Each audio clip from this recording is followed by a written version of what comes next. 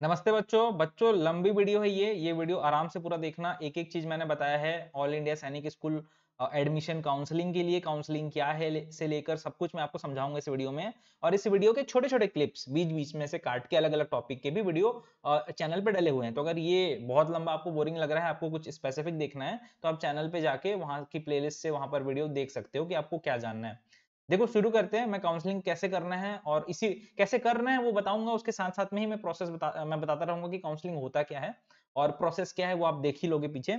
सबसे पहले तो आप क्या करो कि किसी भी ब्राउज़र पे जाओ फ़ोन पे अगर ब्राउज़र है तो फ़ोन पे खोल लो कंप्यूटर पे या कंप्यूटर पे खोल लो, वहाँ पर आपको सर्च करना है A A sorry A I double S double E नहीं, पहले हम क्या सर्च करते थे? A I double S double E करते थे। अब क्या करना है काउंसलिंग के लिए? A I double S A C all India Sainik school admission counselling इसको क्लिक करेंगे आप। तो जैसे आप ये करेंगे तो देखिएगा सबसे पहला जो लिंक आएगा सबकी वेबसाइट सबके ब्राउज़र पे, ज़्यादातर के ब्राउज़र पे सबसे पहला लिंक ही सही लिंक होगा। पर मैं फिर भी बता देता हूँ कि वेबसाइट का नाम क्या है? वेबसाइट का नाम है पीईएसए इन ये जो लिंक है, ये लिंक आपके स्कोर कार्ड में भी दे रखा है। आपने जब स्कोर कार्ड निकाला होगा, अपना रिज़ल्ट निकाला होगा तो उसके पीडीएफ के नीचे तरफ़ में देखिएगा, ये वेबसाइट दे रखी है कि यहाँ पर से आपको काउंसलिंग करना है। मैंने देखिए इसको ओपन कर दिया। यहाँ पर से होम होम पेज आ गया यहाँ पर अपने को काउंसलिंग के बारे में लिखा हुआ है ठीक है? देखिए यहाँ पर होम पे अगर आप जाइएगा तो आपको क्या दिखाई देता है? होम पेज पे आपको दिख रहा है ऊपर में लिखा हुआ कि भाई साहब registration registration for the candidates for round one would commence shortly यानी कि अभी तक वो कम, आ, जो हमारा काउंसलिंग है वो स्टार्ट नहीं हुआ है। जैसे स्टार्ट होगा मैं अपडेट तुरंत दे दूँगा। अभी जब मैं वीडियो बना रहा हूँ तो तो स्टार्ट नहीं हुआ काउंसलिंग हो सकता है। जब आप इस वीडियो को देख रहे हैं, उस टाइम पे काउंसलिंग हो चुका हो स्टार्ट हो चुका हो। आज पंद्रह मार्च का दिन है तो आज तो स्टार्ट नहीं हुआ है। इसीलिए चैनल को आप सब्सक्राइब कर लीजिए, ताकि आप अपडेटेड रह पाएँगे।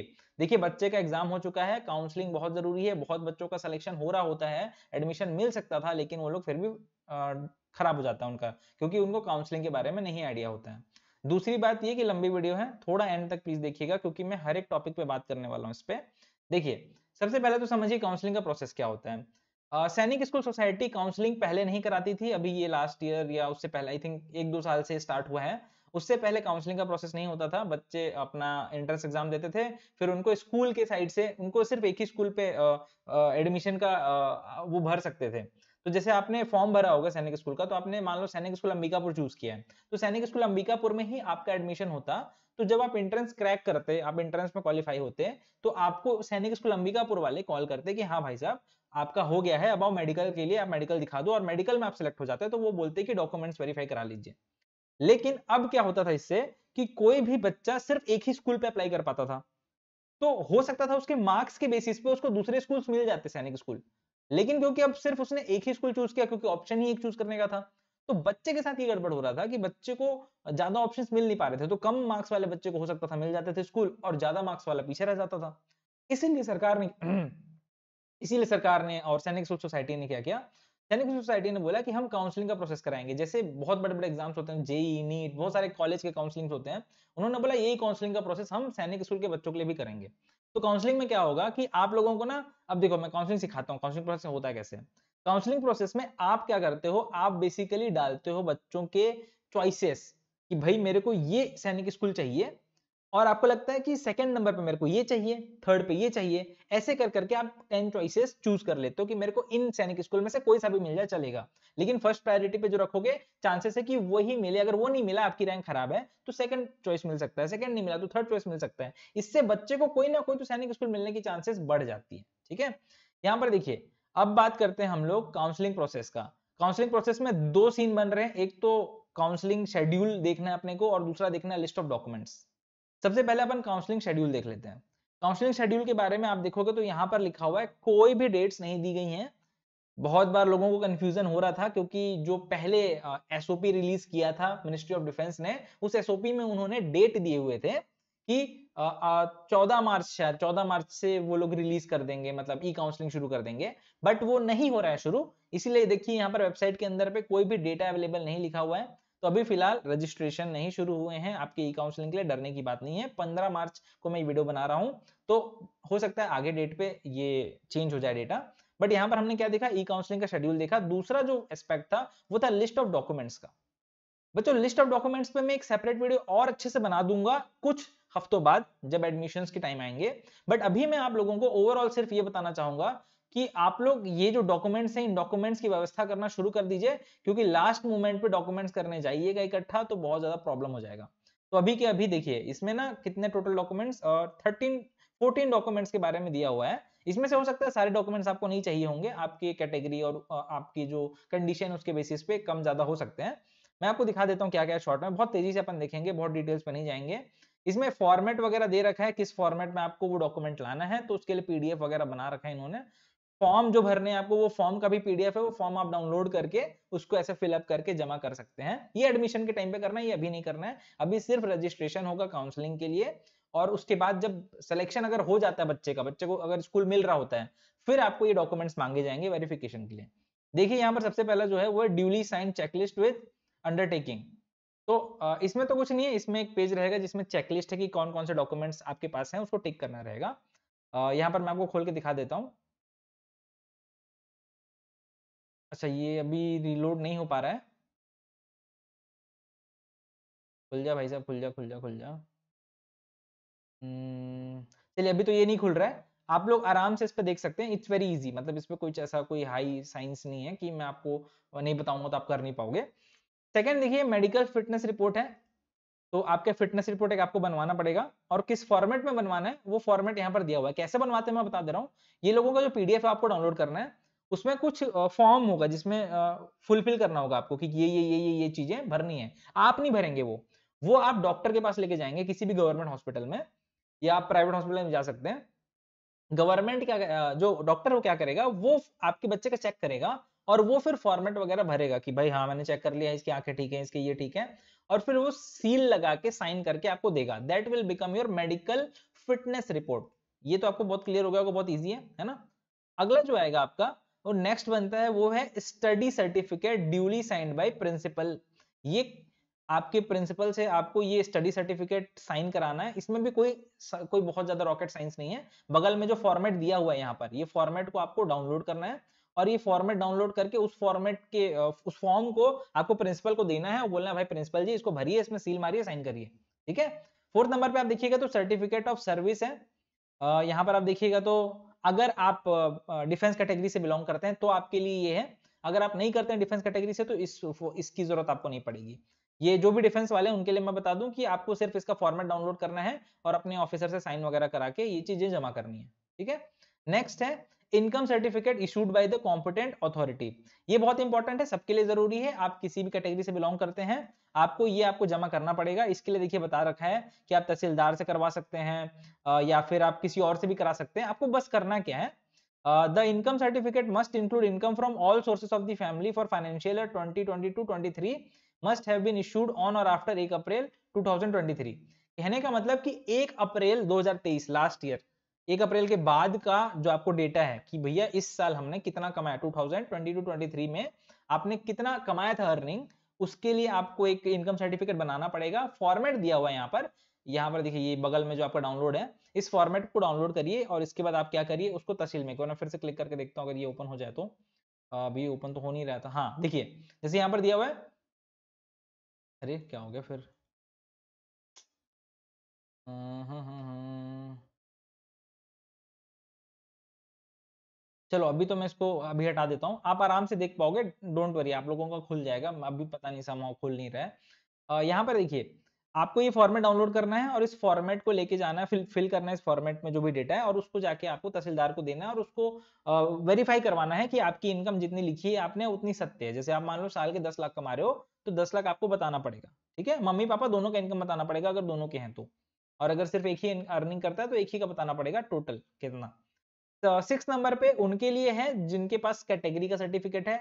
या तो आप एस टी या ओबीसी हो। ओबीसी में दो टाइप के होते हैं, एक एनसीएल होते हैं नॉन क्रीमी लेयर और एक सीएल होते हैं क्रीमी लेयर क्रीमी लेयर वालों को कोई भी रिजर्वेशन नहीं है, इसलिए उनको ये फॉर्म भरने की ज़रूरत नहीं है। जो नॉन क्रीमी लेयर है एनसीएल वाले हैं तो उनको भरना पड़ेगा। तो एस टी और ओबीसी के लिए जो भी कास्ट सर्टिफिकेट है, वो इसके पर्टिकुलर फॉर्मेट में आपको फिलअप करना है और उसकी सिग्नेचर करा के आप लोगों को जो भी कंसर्न अथॉरिटी है, तहसीलदार वगैरह है उनसे आप साइन करा के इसको जमा कर सकते हो।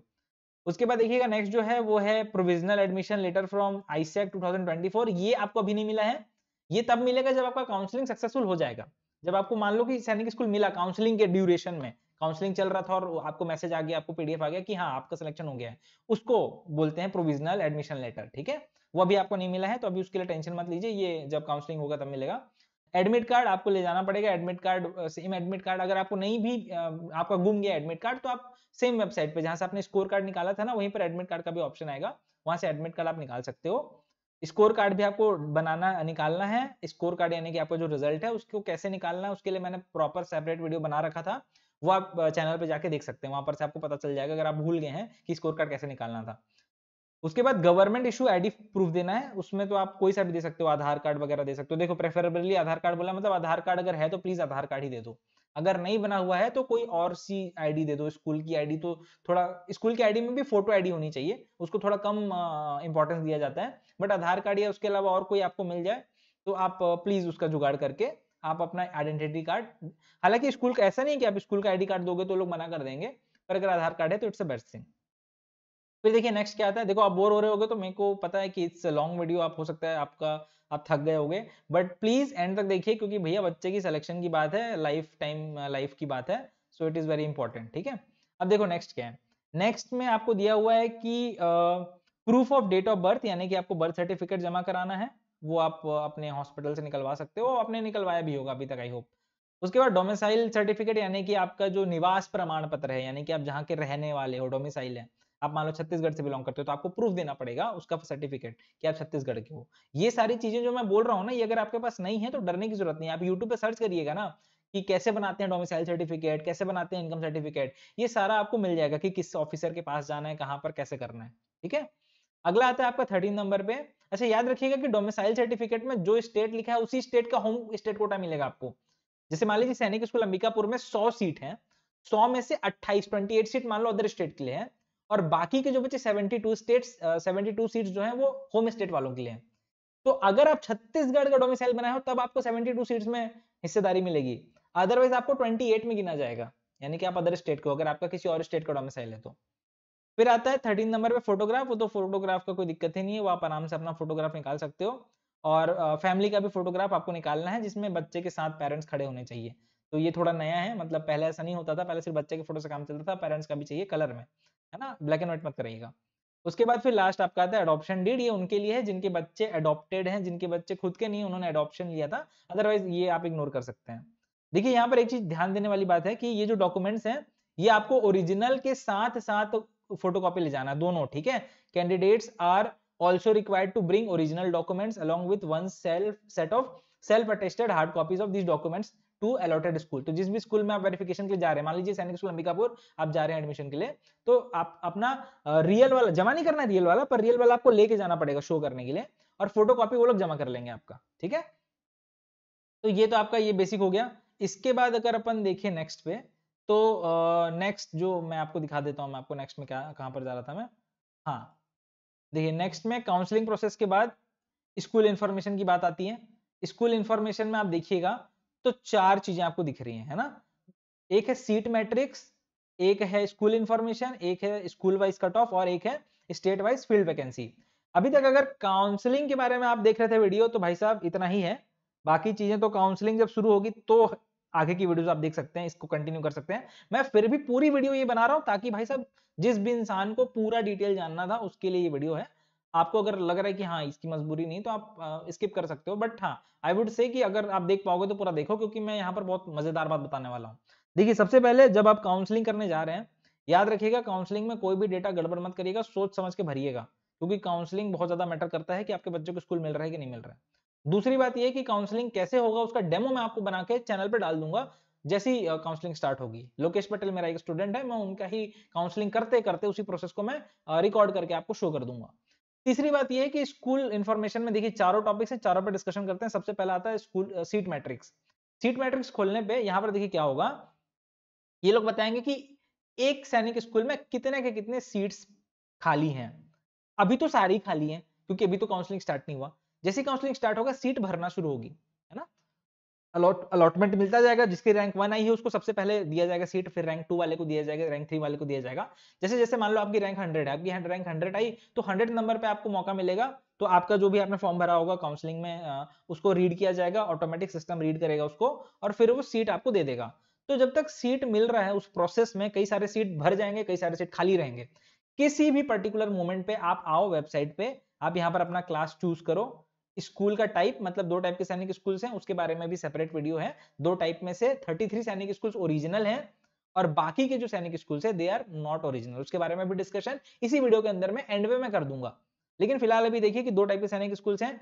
कोशिश करिएगा कि सैनिक स्कूल्स में सिलेक्शन हो जाए। न्यू सैनिक स्कूल्स थोड़े नए हैं और थोड़े मिक्सड हैं तो उसमें प्रॉपर वो जो डिसिप्लिन है और वो जो अथॉरिटी मिलती है सैनिक स्कूल वाली, वो नहीं मिल पाती है। बाकी अगर न्यू सैनिक स्कूल भी मिल रहा है तो इट्स ओके डजेंट मैटर तो मैंने सैनिक स्कूल टाइप सर्च कर लिया। देखिए अकेडमिक ईयर में पुराने सीट्स के भी दिखाने चाहिए थे इनको, लेकिन ये नहीं दिखा रहे हैं, ये सिर्फ़ इस साल वाले को दिखाएँगे। इस पर आप सर्च करोगे। जैसे ही सर्च करोगे तो नीचे ये आपका पूरा का पूरा ये खुल गया, है ना? अब देखिए, यहाँ पर सीट मैट्रिक्स में आपको बता रखा है कि कितने, कितनी सीट्स खाली हैं अभी। क्योंकि अभी देखिए सारी सारे खाली हैं, क्योंकि अभी आपका काउंसलिंग शुरू हुआ नहीं है, ठीक है? इसको मैं थोड़ा सा छोटा कर देता हूँ ताकि ये एडजस्ट हो जाए यहाँ पर। हाँ। ये देखिए। यहाँ पर आंध्र प्रदेश में कौन सा सैनिक स्कूल है? उसके बॉयज़ का सीट कैसा है? दस है। एसटी के लिए एससी के लिए एससी के लिए दस है एसटी के लिए चार है ओबीसी के लिए अठारह है। ऐसे करके पूरे के पूरे डिटेल्स दे रखे हैं यहाँ पर। तो सीट मैट्रिक्स में क्यों बोलता हूँ देखने के लिए? जैसे मैं अंबिकापुर सैनिक स्कूल से पढ़ा हूँ, छत्तीसगढ़ से। तो मैं वहाँ का दिखाता हूँ आपको। देखिए बॉयज़ के लिए क्या है? एससी का नाइन सीट है। अब मान लीजिए कि अगर मान लो मेरा कोई बच्चा है, मेरा बच्चा मान लो अनरिजर्व कैटेगरी में आता है, उसका कोई भी कैटेगरी नहीं जनरल है वो। तो उसके लिए 24 सीट्स हैं। 24 में ओबीसी एस टी आ सकते हैं अगर उनके अच्छे मार्क्स है तो ठीक है? इसका मतलब ये नहीं कि जनरल के लिए रिजर्वेशन है। अनरिजर्व में 24 सीट्स हैं। होम डिफेंस में देखोगे आठ सीट्स हैं। ऐसे करके पूरे के पूरे सीट्स दिए हुए हैं बॉय का। फिर नीचे देखो गर्ल का भी दे रखा है। गर्ल में एक सीट एससी का है, एक सीट एसटी का है। ऐसे करते करते टोटल टेन सीट्स हैं गर्ल्स के लिए, सैनिक स्कूल अंबिकापुर में, और नाइनटी सीट्स है बॉयज़ के लिए। तो टोटल कितने हो गए? हंड्रेड सीट्स हो गए। इस तरीके से सीट मैट्रिक्स में आप पूरा का पूरा देख सकते हो कितने सीट्स हैं किसी भी सैनिक स्कूल में, ठीक है? अगर मैं अगले में जाऊँ, अगले टॉपिक में तो अगला आपका था स्कूल इंफॉर्मेशन स्कूल इंफॉर्मेशन पे देखिए हर एक स्कूल के डिटेल्स दिए हुए हैं, है ना? बहुत अच्छा डिटेल्स दे रखा है, ये भी आप वेबसाइट के अंदर चेक कर सकते हैं, सारा वेबसाइट दे रखा है, सारे नंबर कॉन्टेक्ट नंबर है, कोई सारी ईमेल आईडी है। कई बार ऐसा होता है पेरेंट्स मेरे को फ़ोन करके पूछते हैं कि, सर, सैनिक स्कूल कुरकोंडा का सर मेरे को कॉन्टेक्ट चाहिए था, सर, सैनिक स्कूल अंबिकापुर का कॉन्टेक्ट चाहिए था। देखिए ये पूरा कॉन्टेक्ट यहाँ पर दे रखा है ना? आप देख सकते हो यहाँ पर ये। ये सारा का सारा कॉन्टेक्ट आपको दे रखा है इस वेबसाइट के अंदर पे ही, हर एक सैनिक स्कूल का तो आप आराम से वहाँ पर चेक कर सकते हैं। यहाँ पर मज़ेदार बात क्या है? यहाँ पर लिस्ट में दिखाता हूँ आपको, नीचे जाइएगा। तो देखिए, किनारे पे देखिए, एकदम सबसे सबसे पहले यहाँ पर, ये। थर्ट, सेवेंटी थ्री स्कूल्स के नाम दिए हुए हैं। तो टोटल हमारे पास है थर्टी थ्री सैनिक स्कूल्स पुराने वाले और सेवेंटी थ्री टोटल दिख रहे हैं इसमें। यानी कि फोर्टी जो सैनिक स्कूल है, चालीस, वो नए सैनिक स्कूल हैं, जो पार्टनरशिप में बने हैं, या तो स्टेट गवर्नमेंट के साथ पार्टनरशिप करके, या प्राइवेट स्कूल्स के साथ पार्टनरशिप करके। तो 33 जो है मेन सैनिक स्कूल है, बाकी 40 हैं, उनका भी डिटेल्स यहाँ पर आपको दिया हुआ है, ठीक है? देखिए, कई सारे तो डे बोर्डिंग स्कूल्स भी हैं, ज़्यादातर सैनिक स्कूल, हमारे जो 33 सैनिक स्कूल्स हैं, वो तो रेसिड वो तो सीधे सीधे आपके हॉस्टल वाले सिस्टम होते हैं हॉस्टल में रहना पड़ता है। लेकिन देखिए, जो नए सैनिक स्कूल है, उसमें कई सारे डे बोर्डिंग भी है, जिसमें बच्चा स्कूल जाता है, फिर घर आता है। उसको वहाँ रुकना नहीं पड़ता है करेक्ट उसके बाद अगला जो तीसरे नंबर का जो डिटेल है वो है स्कूल वाइज कट ऑफ़ इस पर अगर आप जाइएगा तो इसमें कोई सा भी सैनिक स्कूल आप सेलेक्ट करके कट ऑफ़ पता कर सकते हैं कितना कट ऑफ़ गया है या जा रहा है। तो देखिए, अभी इस पे डेटा आपको नहीं मिल पाएगा। देखिए क्लास सिक्स का मैं एक एग्जांपल देता हूँ करके। क्लास सिक्स में राउंड देखिए राउंड क्या बोला है? काउंसलिंग ना कई राउंड्स में होता है। एक राउंड दो राउंड तीन राउंड पहले राउंड में मान लो सारे बच्चों को सीट मिल गई। फिर कई बच्चे जो थे, उनको पसंद नहीं आया स्कूल तो वो कैंसिल कर दिए फ़र्स्ट राउंड तो सीट खाली हो गया। तो सेकेंड राउंड बनेगा उन खाली सीट्स के लिए, है ना? तो राउंड पूछा है तो अभी राउंड दिख नहीं रहा ऑप्शन क्योंकि अभी तो काउंसलिंग स्टार्ट नहीं हुई है। जैसे स्टार्ट होगी, आप राउंड चूज़ करोगे एकेडमिक ईयर 2024 करोगे स्कूल का टाइप जैसे मान लो मैंने सैनिक स्कूल लिखा नॉर्मल वाले, और उसमें मैंने सैनिक स्कूल अंबिकापुर चूज़ कर लिया। सैनिक स्कूल अंबिकापुर किधर है सर ये अंबिकापुर और स्टेट कैटेगरी में, मान लो कि आप, मैं मैं जैसे अंबिकापुर चूज़ किया और मैं खुद छत्तीसगढ़ का ही हूँ तो मैंने होम स्टेट चेक कर लिया। ऐसे में मैं सर्च कर दूँगा। देखो, अभी बोल रहा है प्लीज़ सेलेक्ट राउंड क्योंकि राउंड तो भी आया नहीं है स्टार्ट हुआ नहीं काउंसलिंग जैसे ही होगा, आपको पूरा का पूरा कट ऑफ़ मिल जाएगा। तो ये आप देख सकते हो कि भाई कितना लास्ट मार्क्स गया था, कितने मार्क्स पे कौन से कैटेगरी में, कौन से होम स्टेट में अदर स्टेट में कितने मार्क्स पे कट ऑफ़ गया है। तो कट ऑफ़ जो बच्चे मेरे से पूछते हैं फ़ोन कर करके, अभी भी जैसे रिज़ल्ट आया था तो मेरे को बहुत फ़ोन आ रहे थे कि, सर कट ऑफ़ कितना जाएगा? सर, मैं जनरल हूँ, मैं ओबीसी हूँ, सर, मैं इसी स्कूल में अप्लाई कर रहा हूँ। तो भाई साहब कट ऑफ़ जो होता है, हर साल चेंज होता है, कुछ नहीं बोल सकते हैं, वो आप यहाँ पर से वेबसाइट पे चेक कर सकते हो, जैसे ही काउंसलिंग शुरू होगा तो। फोर्थ नंबर पे जो लास्ट है, वो है स्टेट वाइज फ़ील्ड वैकेंसी यहाँ पर देखिएगा आप तो यहाँ पर भी एक ऑप्शन आ रहा है कि आप क्लास सिक्स चूज़ कर लो। यहाँ पर जैसे मान लो मेरे को अंबिकापुर का चेक करना है तो मैं अंबिकापुर चूज़ कर लिया। एकेडमिक ईयर 2024 इस पर मैं सर्च करूँगा तो ये वैकेंसीज प्रोवाइड कर देगा मुझे कि कौन कौन से स्कूल में अदर स्टेट की वैकेंसीज हैं। जैसे सैनिक स्कूल अंबिकापुर में 28 अदर स्टेट की सीट है। तो वो मेरे को ये बता देगा यहाँ पर। तो अगर आपको वो चेक करना है तो वो भी आप चेक कर सकते हैं। जैसे देखो मैंने वो सर्च किया ना इस पर सेंट्रल अंबिकापुर का, मैं नीचे जाऊँगा तो देखिए यहाँ पर मैंने सर्च किया। तो अंबिकापुर में देखिए अदर स्टेट के लिए वैकेंसी कितना है? बॉयज़ के लिए 28 है गर्ल्स के लिए फाइव है अदर स्टेट की वैकेंसी ठीक है?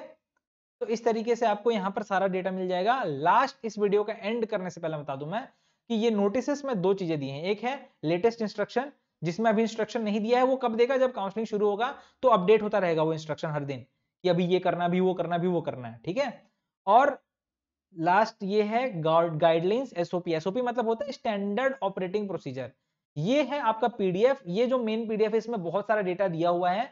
इसको आप बैठ के पढ़ोगे तो आपको पूरा का पूरा नॉलेज मिल जाएगा, कोई भी डाउट है। हालाँकि देखो, सारा चीज़ तो मैं वीडियो के अंदर ही बना के डाल दे रहा हूँ तो आप चैनल पे आके सब कुछ देख सकते हो। पर अगर आपको पर्सनली कुछ पढ़ना है तो ये पीडीएफ है, इसमें सब कुछ दिया हुआ है कि भाई फॉर्मेट क्या है इनकम सर्टिफिकेट का सैनिक स्कूल की लिस्ट नई वाले की, पुरानी वाले की डॉक्यूमेंट्स की लिस्ट कैसा डॉक्यूमेंट लाना है।